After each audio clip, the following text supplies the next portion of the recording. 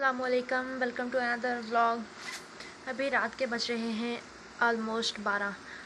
और मेरा फ़्राइज़ खाने का बहुत दिल कर रहा है और लिहाजा मैंने ये फ़्राइज़ बनाना स्टार्ट कर दिए हैं। अभी तो ये आहिस्ता आहिस्ता बन ही रही हैं। खाना तो मैंने खाया था, लेकिन ऐसा लग रहा था मेरा पेट बिल्कुल खाली है। लिहाजा फिर मैंने क्या किया कि अभी फ़्राइज़ बनाए बनाए जाएँ और खाए जाएँ। हाँ अब इनको पकने में तो पाँच दस मिनट लगेंगे वाल तब तक वेट करते हैं। जल्दी से बन जाओ मेरे यमी फ्राइज़ पहले तो मुझे आग जलाते ही गैस को ऑन करते ही इतना टाइम लग गया। वो लाइटर काम नहीं कर रहा था और इसकी ऑटोमेटिक फाइव वायर टूट चुकी है। लिहाजा मुझे उसमें भी वेट करना पड़ा और अब ये बन रहे हैं। मैं इनको देख रही हूँ और वेट करती जा रही हूँ, करती जा रही हूँ, कब बनेंगे, मैं इनको खाऊँगी।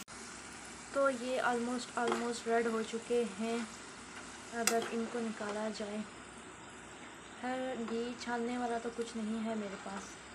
लिहाजा इनको निकाल के टिश्यू पेपर पे ही रखती हूँ। फिर यहाँ से इन्होंने ऑयल ने खुद ही सौंप लेना इसको। चलो मेरे यमी यमी फ्राइज़ तो तैयार हुए।